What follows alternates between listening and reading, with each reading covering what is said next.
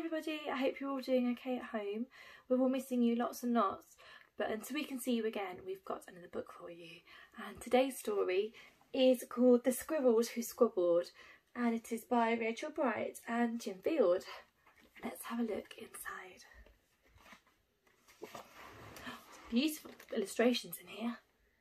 In a towering forest where summer had been, the cool air bit fresh and the mosses grew, grew green and as autumn edged in and the sky raged red, the sleepiest creatures got ready for bed.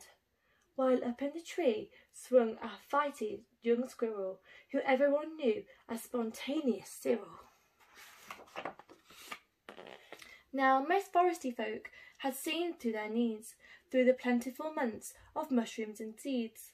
They built up their stores so they'd be all well fed through the frosting of winter that glittered ahead. But Cyril, he lived in the now and here. He'd adventured and partied his way through the year. So his cupboards were empty, his hollow was bare. He hadn't a mouthful of food anywhere. But wait, what's that? Over there, take a look. A single pine cone wedged in a nook. He squealed with delight, and for a very good reason, for inside were the very last nuts of the season. But Cyril wasn't alone. There were more hungry eyes. Yes, plan ahead Bruce had his sights on the prize. Though he'd gathered a mountain of bounty hard fought, Bruce was convinced he was one pinecone short. I simply must have it, he wistfully cried as he dreamt of the fresh, juicy pine nuts inside. So as Cyril set off on his way to the ground, Bruce, he was also last pinecone bound. They sprinted and scurried with no time to gamble. They scratched at the bark in their scampering scramble. But their panic and haste shook the tips of the spruce, and the pine cone it trembled, and then it came loose. Both squirrels gave chase at a lightning pace. This was the start of a wild, nutty race. It's mine, shouted Cyril. No, mine, hollered Bruce. You don't stand a chance. Give up. It's no use.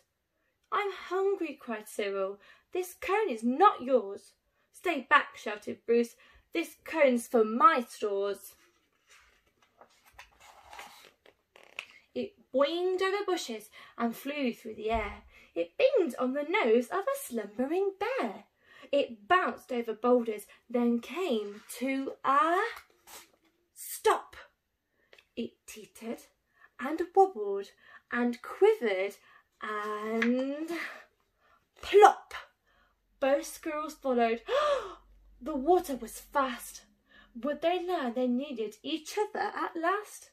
But each was intent on how he could win, so they didn't quite notice the bird sweeping in. Cyril and Bruce, they watched in dismay as their cone disappeared up, up, up and away. Come back, shouted Cyril. They're our nuts, exclaimed Bruce. But all hope was gone. It was simply no use. And meanwhile they drifted right up to the ledge greed. It was driving them over the edge. Cyril and Bruce, they had taken a fall. They were paying the price for wanting it all.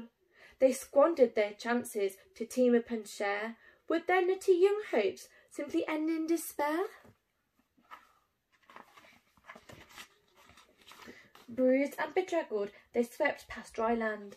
Cyril grabbed at a branch with a trembling hand. Catching Bruce with the other, he heaved and he huffed, and he dragged him to safety with panting and puffs. They stared at the sky, quite lost in deep thought, until Bruce looked at Cyril and let out a snort. How silly we are, he proclaimed with a jiggle.